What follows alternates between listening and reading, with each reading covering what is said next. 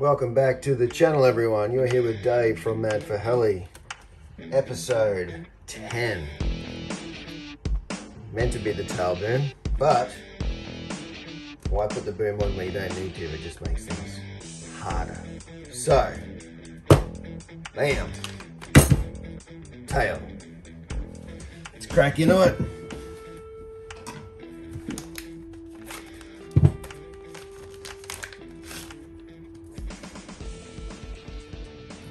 Almost looks like a night tick. Okay. So that.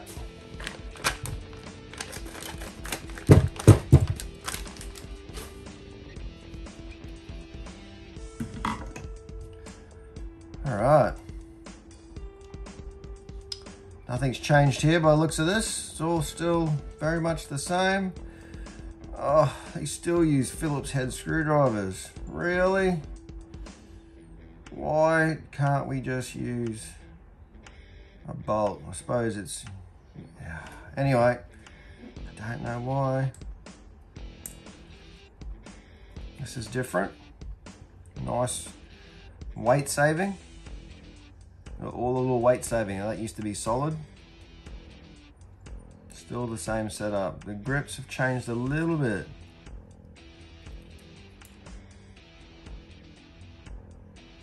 Okay, well, save you all the, uh, the headache and I'll pull this apart, but we'll speed it up. So, yeah, get this apart in a couple of seconds for you.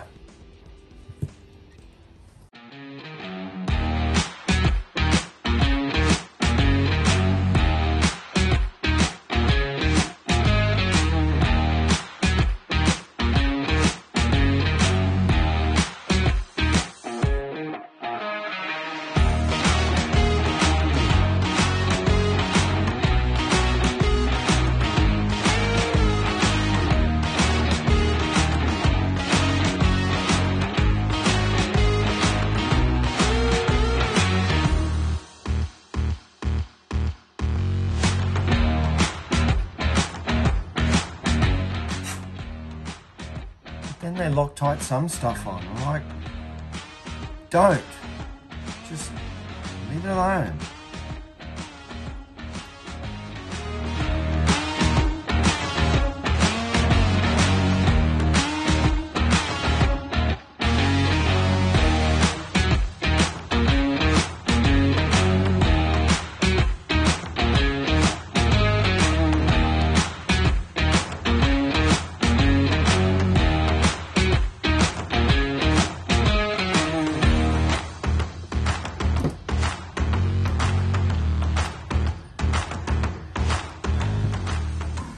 Pissing me off Align.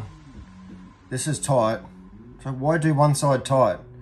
You meant to pull the whole thing apart and there's certain things that you do up and you Loctite. Like seriously, one or the other. Bloody hell.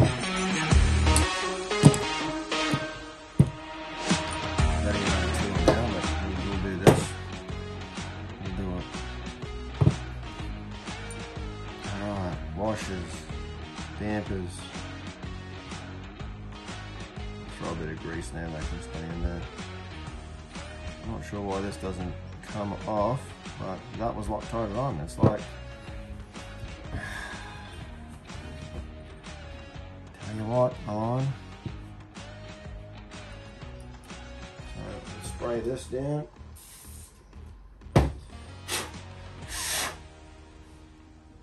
Good old Blue.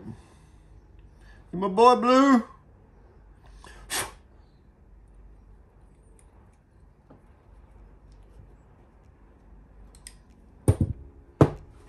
Go on.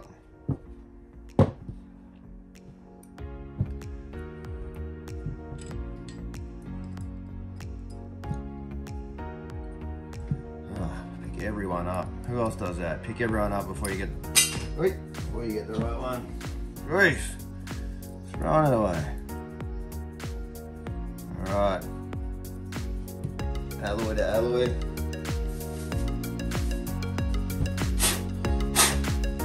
that Clana. It's being in a bag full of oil. So,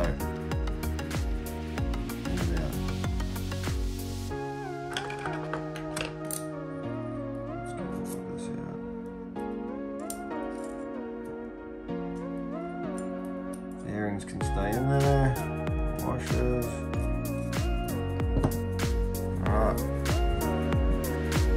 pulled apart.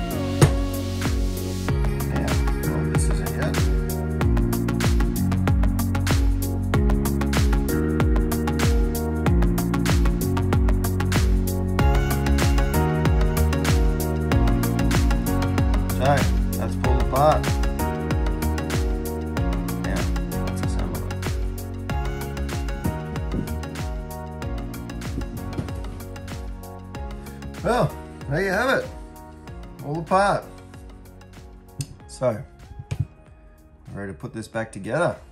All right. Start with what I, uh, you can read the book. Just gonna start putting stuff together with some Loctite. Get our Loctite. Get our trusty spanner, trusty driver. Let's put this together. This is easy, this just screws together with these screws here.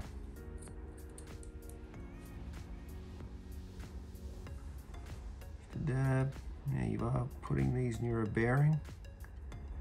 So just be careful.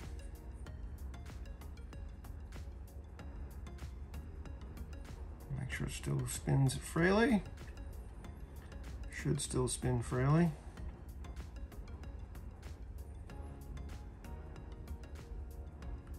Just don't want big dabs hanging off and get it in your bearing. Now remember this is a small screw, doesn't need to be tight.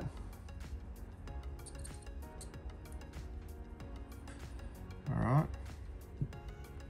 so those two done. What's next? What's next? Let's have a look at the spindle. Put this apart. Now, that does need to go on that first. So don't forget that. Don't put it together and then realize it's got to go on there. Something I probably would do. So we did tighten that screw down. Um, yeah. Let's get it together, then we'll get the rest, the rest together. So, this is really straightforward. Like I said, pair of tweezers. It's got in and out written on it. You can't go wrong. So, in, like so. The difference in grease is one has a lot of grease and one has hardly any. So, wouldn't matter. You got to pull it apart anyway. But just save your time, line and just don't put any grease in there. Have an oily bag. Just leave it to the end user. Oh, just getting it everywhere. That was a waste of time. Oh gosh. All right.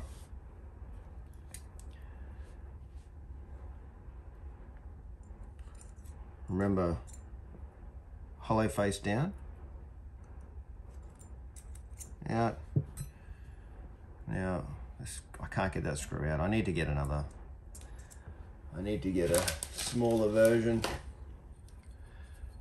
Should have one. I need to get a smaller version of that. After using this, yes, I'm gonna get one for every size.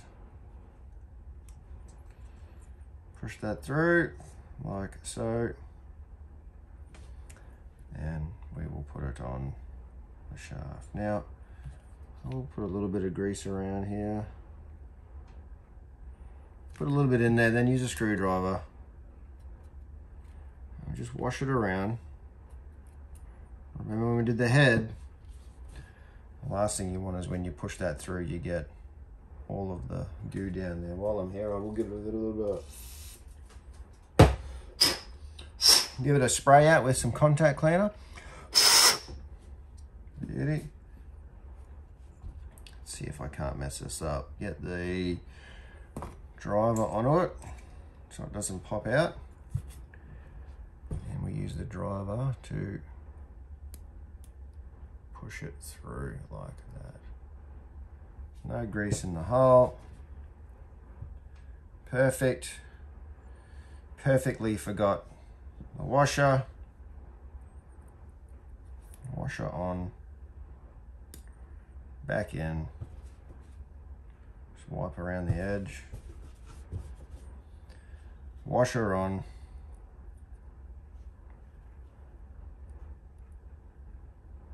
Head on. Oh, not head, grip. All right, you can lift it up a little bit. We want, just double check, in. Pretty self-explanatory there, in goes in. Hollow face down. Push it over the shaft. Now we don't need more lube on this. It's got plenty on the other side.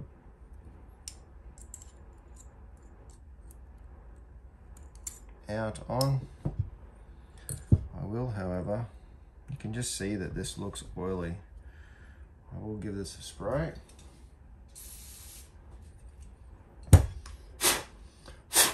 Just some blue Loctite.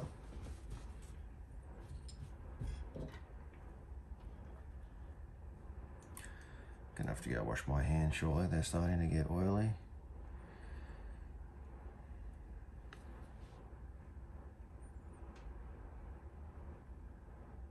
This Loctite's a bit, uh, it's a little bit off. You know, you get some hard bits in there. Yeah, well, I've got a hard bit in there, don't I? Very, very carefully make sure that goes in there without touching the sides.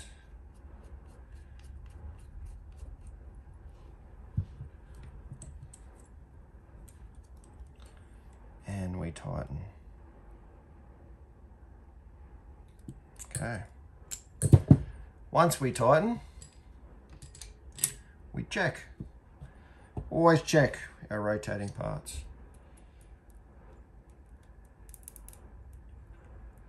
Not loose, not firm. That will wear in very nicely. It's nice that it doesn't drop by itself. Okay all the looks like all the uh, I don't know how that etching's gonna go. Really Align.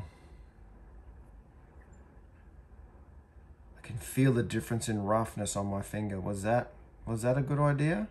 Like why wouldn't you TB set why wouldn't you write that down here where nothing's sliding on it? I know that may wear in but you do have friction there.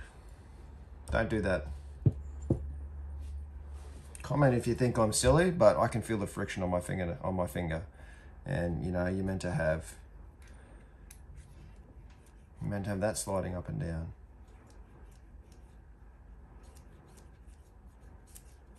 You can hear it. You can hear it. And you could probably emery tape that off with a bit of uh, 1200. Anyway. I am going to have to go wash my hands, I think, because they're getting very oily.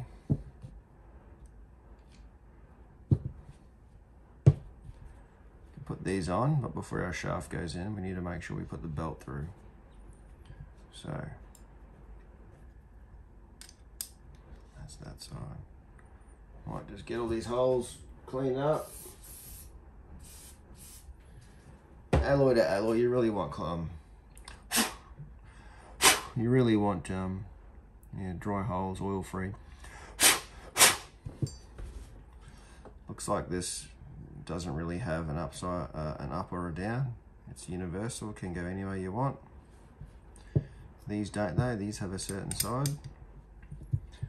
What bolts are they? That would be all of these bolts. So.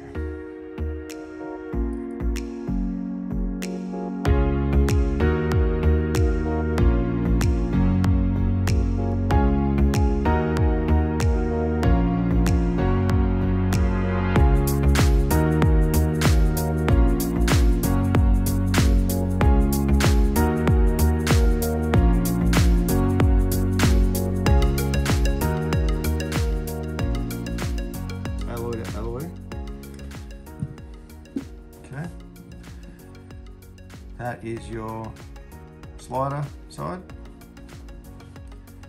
So what do we want to do now? We want to, looks like we're ready for, be nice to get this on actually. That goes down, that's for our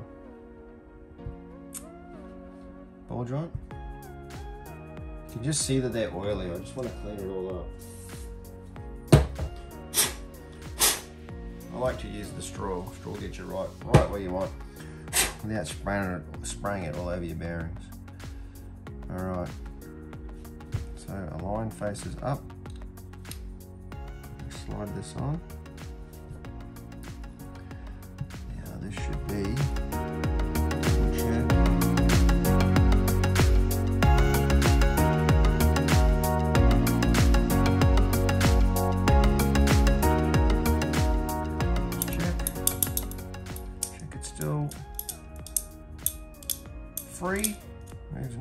free. Okay. And forgot to put that in. Silly, silly. I'll take it back apart. How many else of you do this? How many times do you pull something apart? I do it all the time, but you know, it happens. We all do it.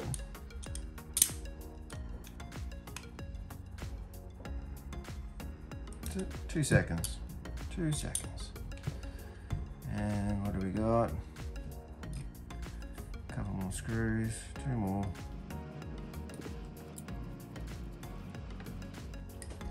Comment below, what's your favourite part? What's your favourite part of a heli to build? What do you look forward to? Do you leave it till last? Do you follow the manual? Or do you have your own routine? Comment below. Interesting. It's an interesting question.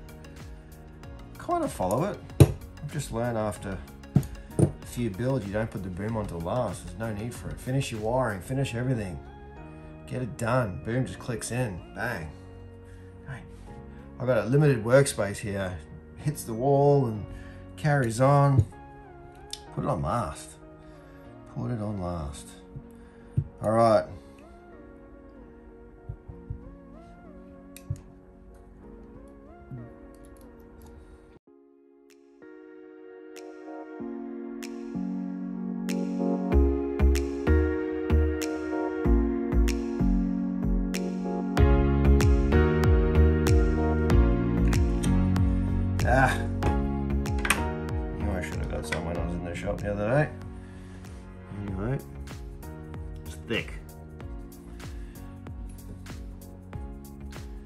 Get this on.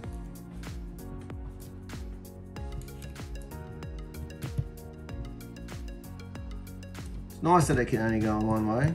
It does make it a little bit easier. Not a fan of the screws though. You really, they are tight, but you really—you've really got to get your driver down in there. If you've built one before, did your drivers your drivers look as tight as what's going on here, or was a little bit looser? What what what brand? Like I said, I got uh, RJX Hobby. What brand are you using?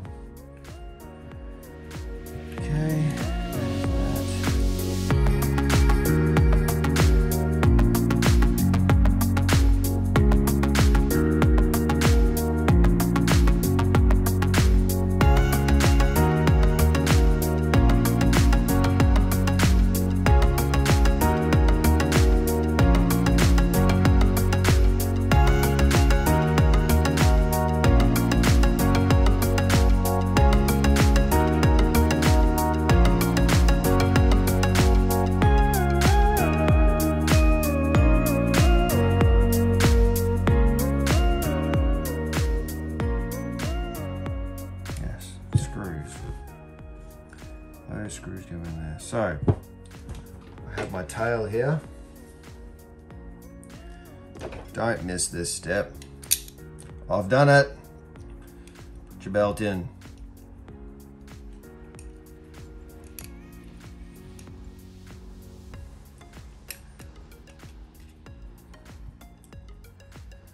Uh, that goes on like that. Should be a divot in the shaft where that goes.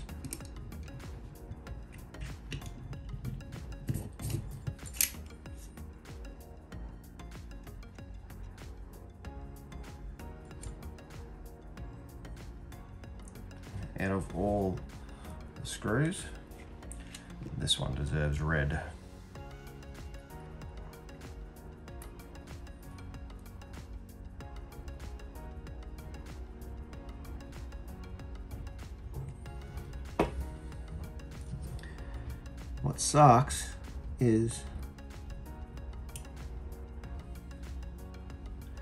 what sucks is it's plastic though. The, the flanges on it are plastic. Tighten him up. So a heat gun would be needed. You wouldn't put a naked flame there. So heat gun, is that plastic? Yep. Maybe have a look at it's probably better for the belt, but maybe look at have a look at aluminium line.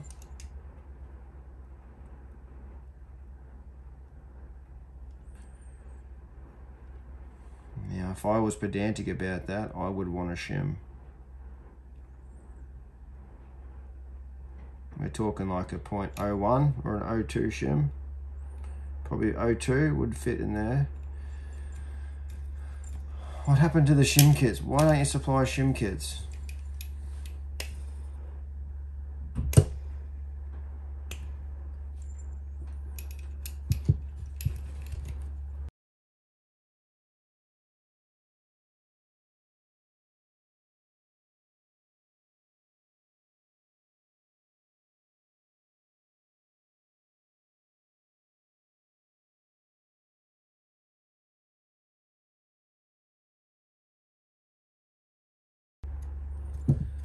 All right. Well, apart from the these little washers that hold the boom on, that's that's the tail. I've got to put that on, but don't need to see that.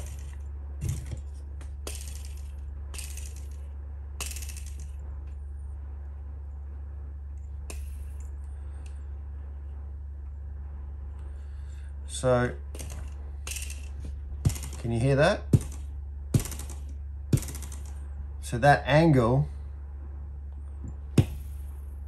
when you go all the way in, it actually rubs. It actually rubs. Well, that's annoying. Where is that touching? It's touching just up in here. Right, I don't know if you can see that. See how closely that's actually touching. That will wear in, but that's a bit silly. It will obviously you're never going to go all that way. You know you're not going to go like that but should that bind? Don't think it should. Anyway. This is just this is a build series just pointing out the stuff. All right well that is episode 10 tail. Thanks for stopping by. This is dave from mad4heli uh, hit that subscribe button and the notification for the uh, for the next build. And uh, check us out. Check our website out mad4heli.com um, yeah. Give us a like and we'll see you on the next one. Episode 11